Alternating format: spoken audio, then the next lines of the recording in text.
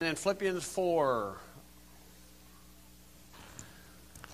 Okay, this topic this morning we have all failed at. We all struggle with it every single day. And uh, I'm not going to say that you're going to get it right until the day you see Jesus Christ. It's just something tough. It's dealing with your thought life. It's about like trying to herd birds. Okay, 2 Corinthians chapter 10, verse 3, and then Philippians 4. Okay, 2 Corinthians 10, verse 3 For though we walk in the flesh, we do not war after the flesh, for the weapons of our warfare are not carnal, but mighty through God to the pulling down of strongholds. And then notice the next one casting down imaginations. How's your imaginations?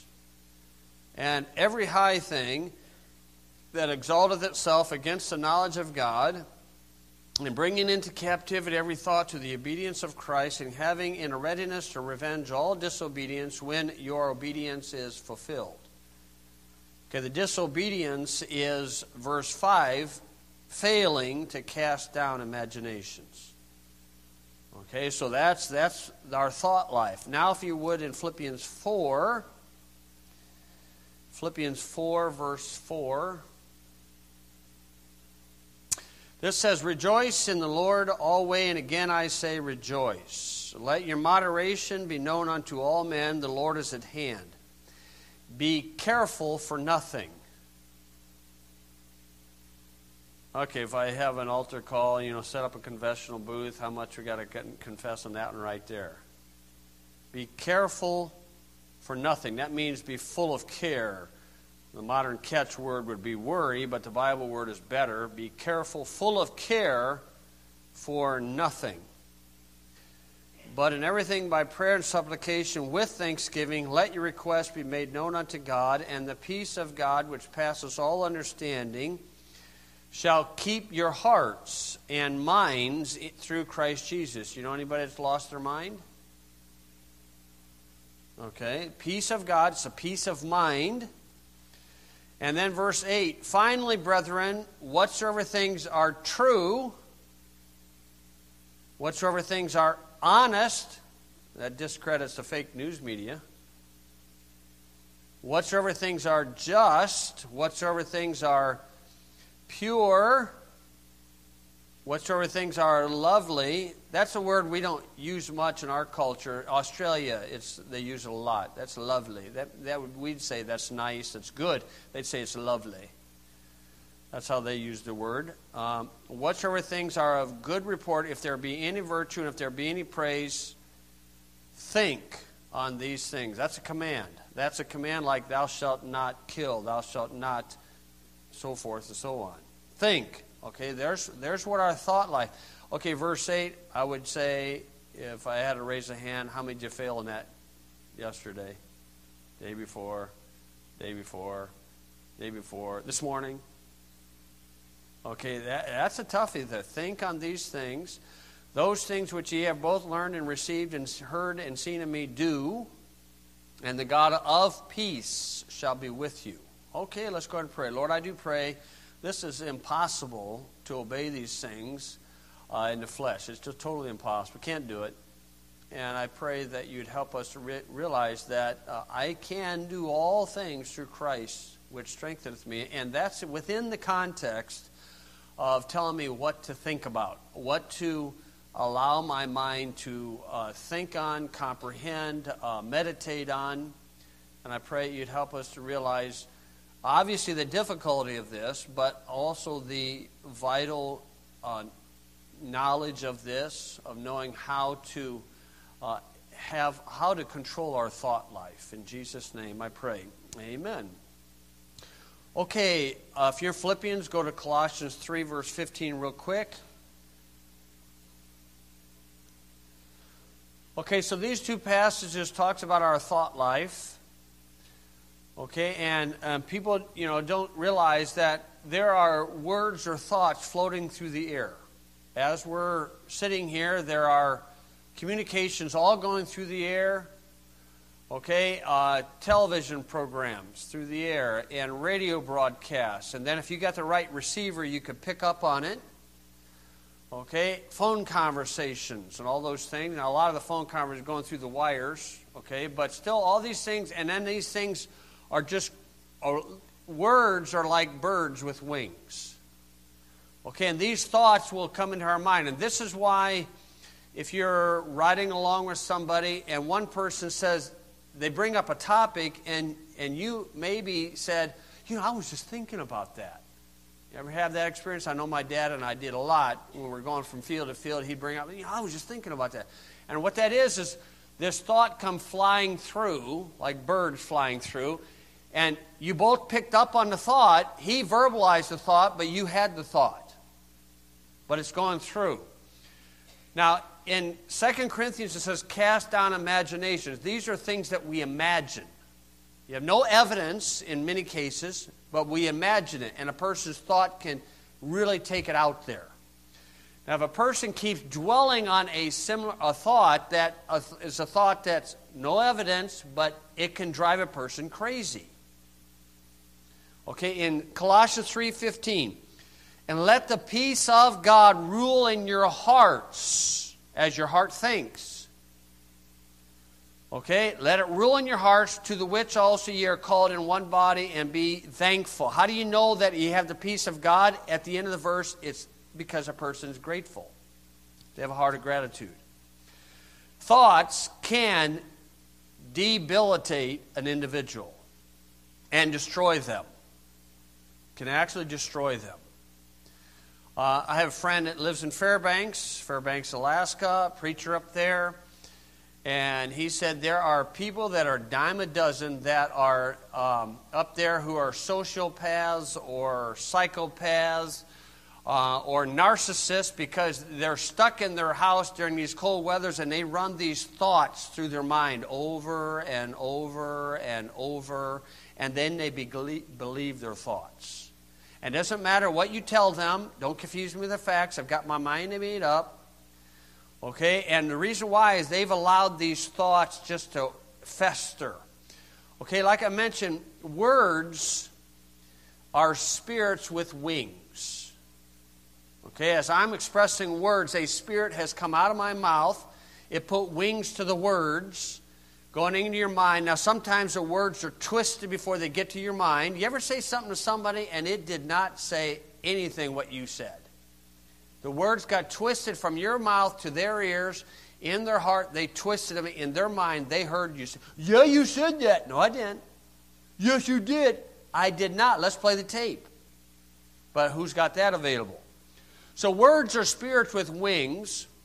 And then when you assemble these words together, they become thoughts. And these thoughts are like a flock of birds that fly. Now, to control your thoughts, especially in your natural realm, is about like you trying to flock together, harness these birds together, and get them all in a cage. And you know how hard that would be. Now, you may not prevent a bird landing on your head but you can prevent it from building a nest on your head. Okay, you not are you not are held accountable for the thoughts that came into your mind. But you are responsible of what you do with a thought.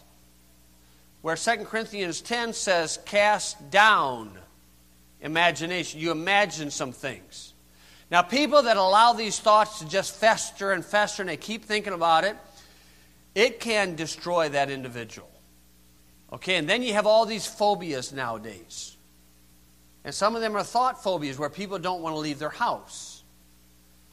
Okay, and so what do we do with these things? Now, every all of us, you got to admit, all of us have difficulty with our thought life. All of us have disobeyed Philippians 4 8, and he gives the list whatsoever things are true, honest, just, pure, lovely, good report, that's our limitation to think on things. The idea is to allow them to dwell in us. Now, Philippians 4:13 says, "I can do all things through Christ which strengthens me." That means that within that context, the writer, the writers that writing this is in jail writing this. Paul is in prison writing these words, And in prison is where a guy's mind just runs away with them.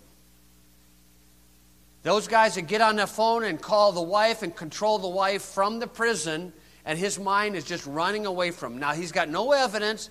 It's in his imagination. He's thinking they're doing this and thinking they're doing that and thinking they're doing this, thinking they're doing that. No evidence of it. And his mind is running away from him because that's all he can do is think. Okay? And so the one who gave us the uh, promise in verse, verse 13, I can do all things through Christ, the only one that obeyed verse 8 of all those things his entire life is Jesus Christ. Okay, so I want to give you some thoughts about this morning the idea of our thought life. The first thought is this to fret, worry, or to be troubled is evidence that a person does not have a peace of mind. Okay, we don't have a peace in our mind. A believer is to have a peace of mind. Okay, it doesn't matter what the news media says, it doesn't matter what's going on. We should recognize that God is in control as far as society, as far as his plan is concerned. And God has the believer's best interests at heart. Okay, and that should give us peace. Fret in the Bible is similar to our word worry. The word worry is not in the Bible at all. Okay, if you would, Psalm 37 will run across the word fret. Psalm 37, verse 1, it says, Fret not thyself because of evildoers. Neither be thou envious against the workers of iniquity, for they shall soon be cut off or cut down like the grass and wither as a green herb. Trust in the Lord and do good. So shalt thou dwell in the land, and verily thou shalt be fed. Delight thyself also in the Lord, and he shall give thee the desires of thine heart. Commit thy way unto the Lord, trust also in him, and he shall bring it to pass. He shall bring forth thy righteousness as the light, and thy judgment as the noonday. Rest in the Lord and wait patiently for him. Fret not thyself because of him who prospereth in his way, because of the man who bringeth wicked devices to pass. Cease from anger and forsake wrath. Fret not thyself in any wise to do evil. So there's the command where we see what's going on, okay, and then we get all anxious about things of what this guy's getting away with murder and this one's getting away with this and they're doing this. Don't worry about it. God sees the picture. Okay, so fret or troubled. Let's try the word troubled. Okay, Second Thessalonians chapter 2. Second Thessalonians chapter 2. A lot of times people get troubled. Okay, what if Hillary would have got in office? Oh, Christians would be ballistic. You know? Why? Because they're trusting too much in something that's not something to be trusted in. Okay? They're putting too much trust in a political figurehead. Our trust is in the Lord. Second uh, Thessalonians 2, verse 1, he says, Now we beseech you, brethren, by the coming of our Lord Jesus Christ and by your gathering together unto him, that ye be not soon shaken in mind or troubled, neither by spirit, nor by word, nor by letter, as from us, as that the day of Christ is at hand. A few letters later, 1 Peter chapter 3. Uh, Bush, uh, Bush number two, President Bush number two, is the guy that coined the phrase, or at least it became well known in his administration, the word terror. Terror, terror, terror, terrorism. That's a Bible prophecy. The Bible prophesied about these things. Okay? And this idea of terror and all this stuff. Okay? In second in 1 Peter chapter 3 verse 14 it says, "But and if ye suffer for righteousness' sake." Notice the command. If you suffer for righteousness' sake, the writer had to be a nutcase, did he not? If you suffer for righteousness' sake, the writer says, Happy are ye. But that's not our response, is it? The writer says, If you suffer for righteousness' sake, happy are ye. What are you, a nutcase? You got to be in a mental ward or something. And then he says, Be not afraid of their terror, neither be troubled. But sanctify the Lord God in your hearts and be ready always to give an answer to every man that asks you a reason of the hope that's in you with meekness and fear. Now, there are two areas in life you are never to worry about. Okay? One is things that you can affect or control, and the other are things that you cannot affect or control. Meaning, we should never worry, right? Or fret or be troubled. But most of the things that you and I would have to admit, if you lived long enough, most of the things that you were troubled about or worried about did not come to pass. Right? But fear can de- debilitate a person to travel. Well, I'm afraid to get hit by a car, so don't get in a car. Well, then you're not going to go anywhere. But fear can do that to people. And then you got, oh, this is another phobia, and another phobia, and another phobia. Uh, panic. I knew a young fellow that was a fighter. I mean, he was a street fighter, fighter. I mean, he could help himself in any situation, and then he'd have panic attacks. I'm thinking, you got panic attacks?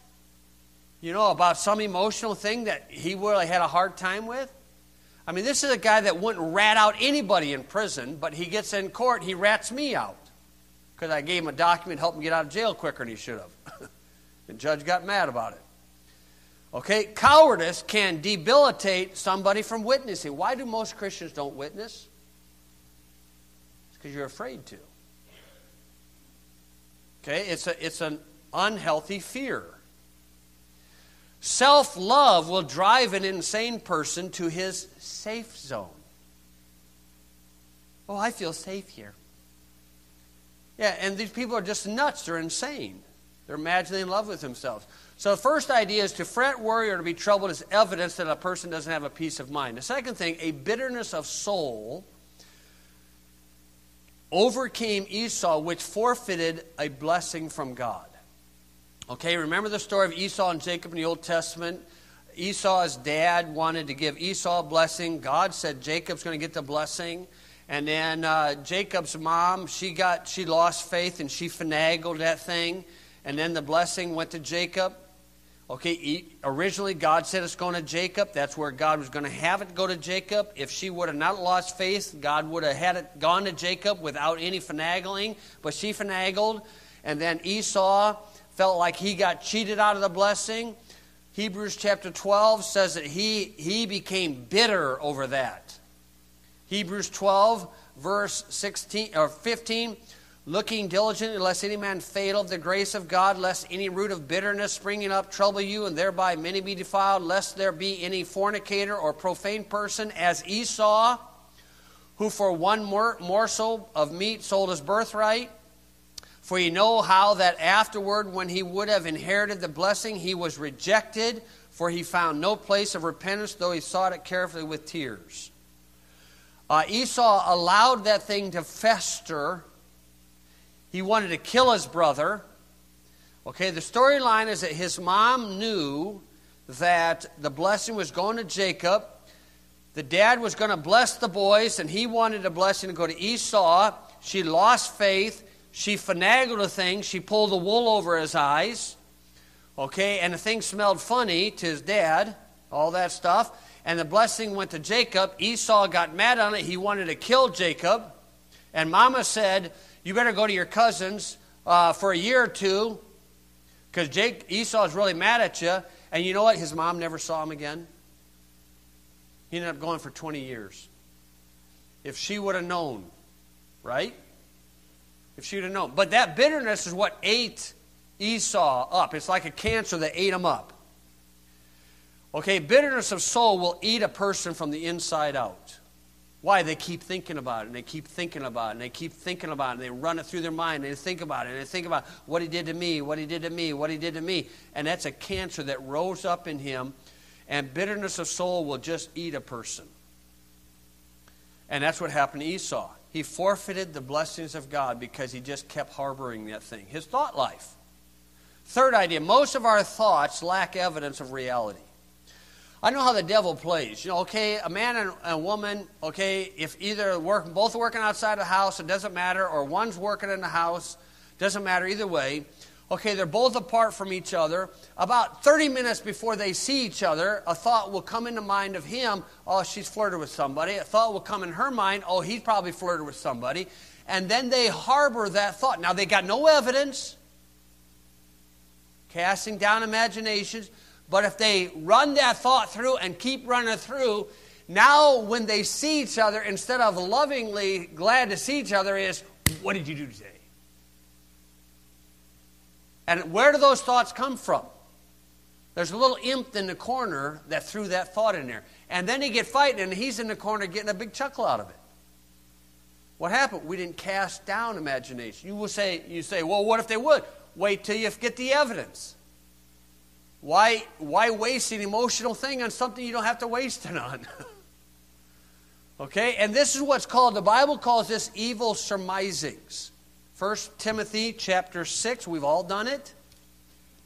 Evil surmisings.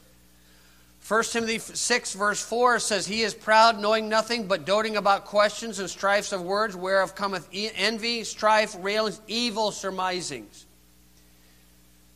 Surmising is when you suppose evil of another, but you don't have the evidence.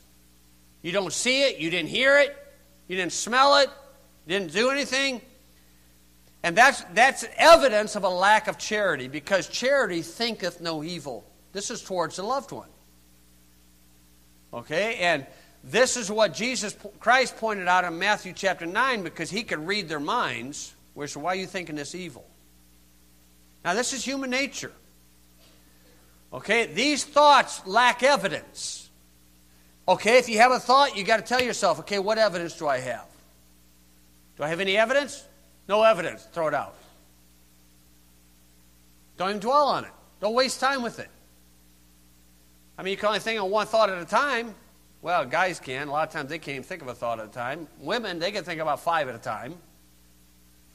And they don't understand. We, we, when we get in our nothing box, I like to stay in my nothing box. Okay, but here's what we need to do we need to look at the evidence. And if there's no evidence, cast it down. Okay, what if we get a thought and it's none of your business? A lot of people like to pry in other people's business, don't they? They got all the suggestions. You know, all these guys, these sports commentators, especially the ones who've never played a sport and they're commentating on a sport. It's about like, would you just shut up? Okay, in 1 Thessalonians chapter 4, verse uh, 11, it says we are to do our own business.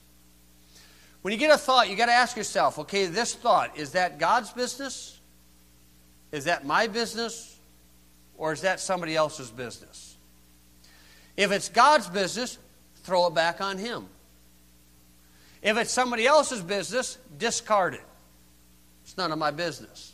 Everybody likes to stick their nose in other people's business. The entire news industry is an industry that makes a living putting their nose in other people's business. And they need it bloodied. Okay, that's what they need. But they make a living at doing that. Now, the common saying is mind your own business. You have anybody say that to you? Mind your own business. And that's what we need to do. This is the glorious thing we have in our culture of privacy. And I like to be unknowing to people just to throw them off. You know, where they try, to, do you approve? Do you not approve? Eh. Just to throw them off. Let them think about it. Okay, and so when a thought comes in our mind, we got to ask ourselves, is there evidence? Okay, there's no evidence, discard it. Thought comes into our mind. Is this my business or is this somebody else's business? Well, somebody else's business. Okay, discard it. Boy, it saves a lot of thinking. Just those two things, just to get rid of it. Okay, then what do we do with that? Okay, if you have one, a thought that comes to your mind and you recognize, okay, this is my business, throw it onto God's business. Because the Bible says, Cast your care upon him, for he careth for you. If you throw that thought on God's business and trust him, recognizing that he will have our best interests at heart.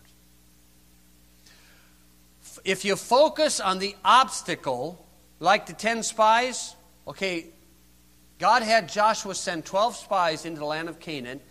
10 of them focused on the obstacle, two of them focused on the prize. The 10 that focused on the obstacle, what happened to them? They went down to the wilderness of depression, wandered down there, and died. The two that focused on the blessing inherited the blessing and became victorious for God. Okay, now if you analyze your thoughts, if you would go to Jeremiah 20, I'd like to read through this whole chapter. If you analyze your thoughts and when you get discouraged, you lose a peace of mind, if you're honest with yourself, who are you thinking about? When you analyze your thoughts and it's taking your peace of mind, I guarantee you are thinking about yourself.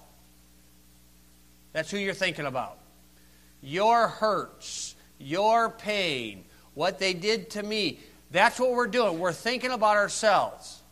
As a parent, a lot of times, you know, we're concerned about our kids when they travel. Okay? Throw that on God's business. A lot of times we do that. I do that with Lynn, especially when she about Mr. flight last week. okay? But that's God's business. Now, Jeremiah chapter 20. I like Jeremiah. okay, we're going to read down through these. I want you to analyze, as I analyze, when he's up, when he's down. He has two ups and two downs in the chapter, and notice what he's thinking about when he's up and when he's thinking about when he's down. Jeremiah 20, verse 1. Now, Pashur, the son of Immer, the priest, who was also chief governor in the house of the Lord, heard that Jeremiah prophesied these things. Pashur's a bad guy. Jeremiah is a good guy.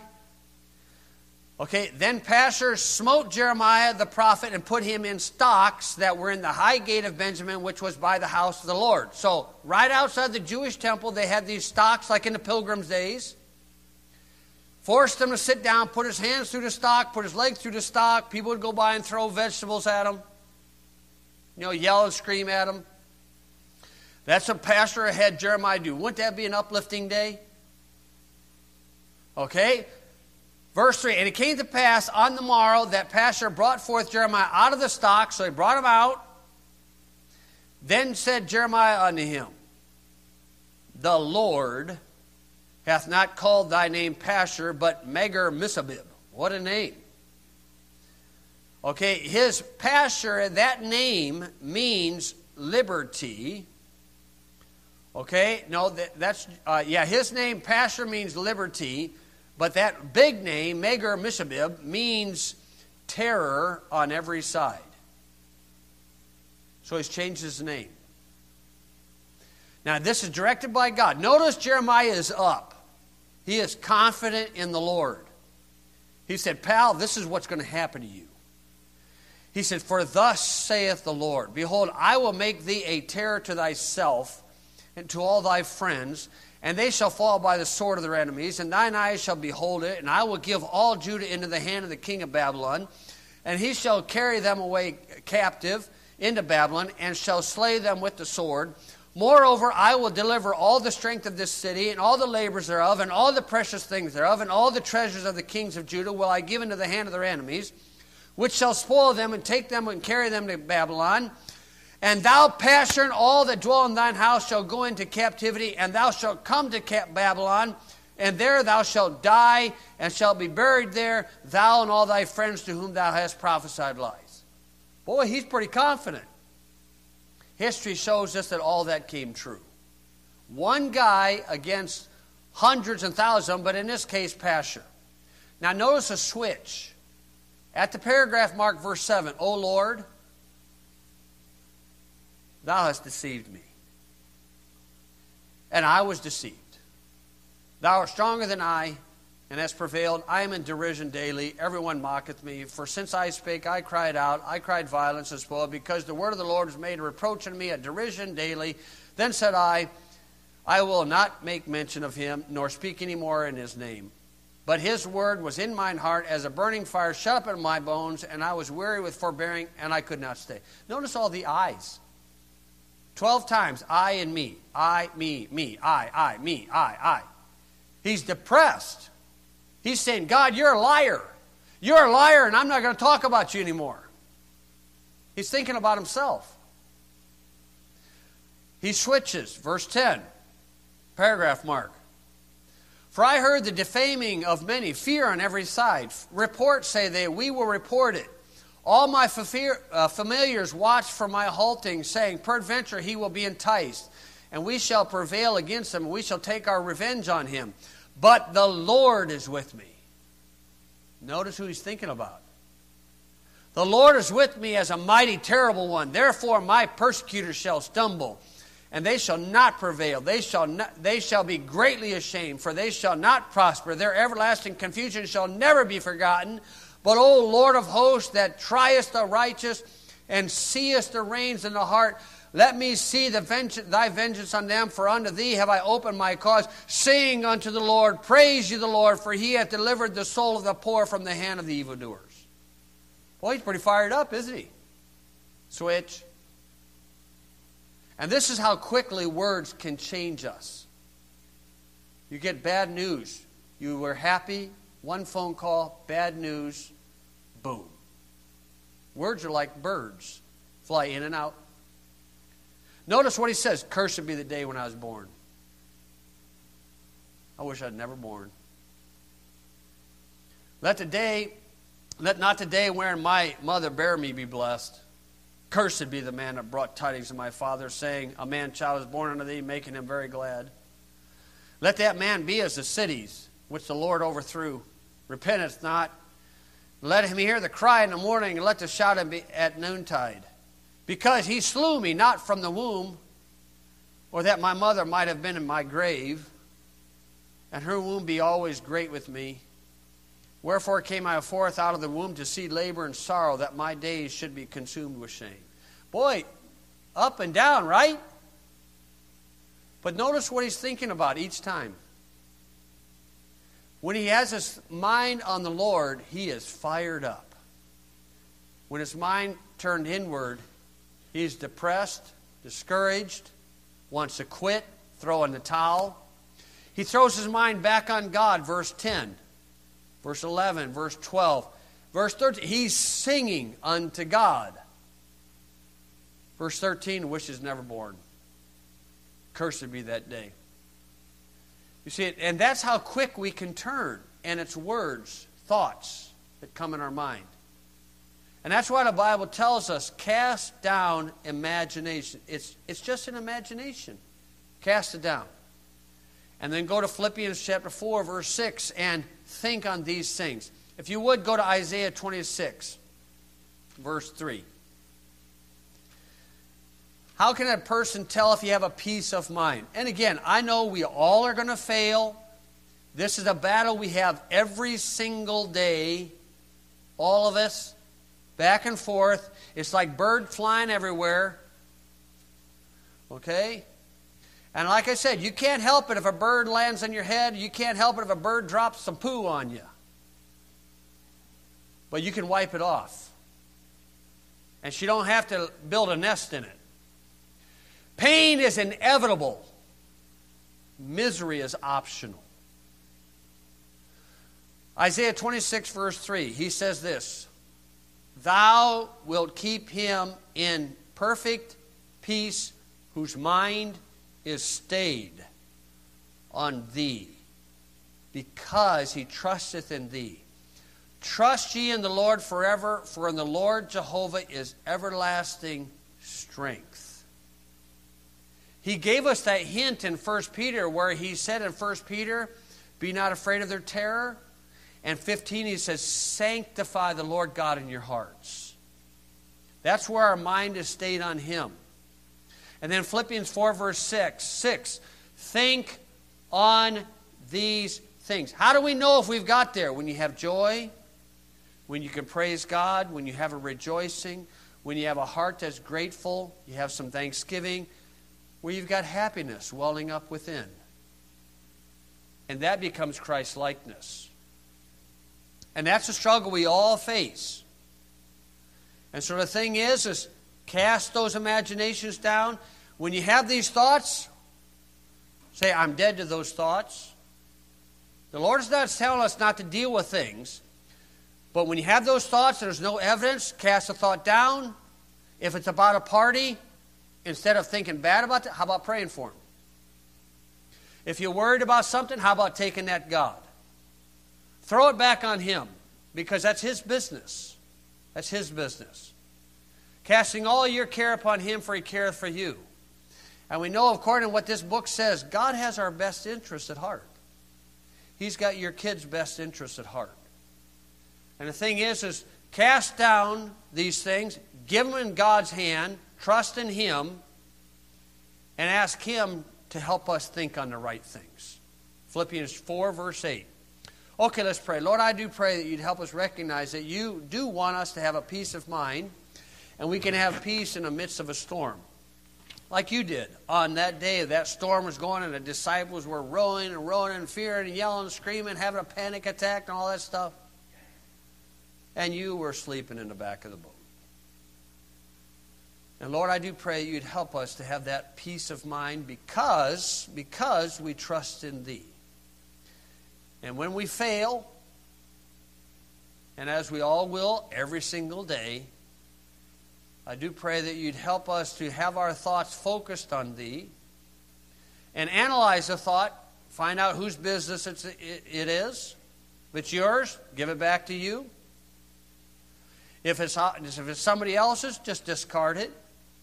And if it's our business, help us to throw that back on you. And Lord, then we can trust you and have a peace of mind, have a joy in our hearts. And Lord, I pray you'd help us realize that the circumstances that are about us should not affect our relationship with Thee, that we might have this peace of mind, so that our mind can be perfectly stayed on Thee. In Jesus' name I pray. Amen. Okay, word is.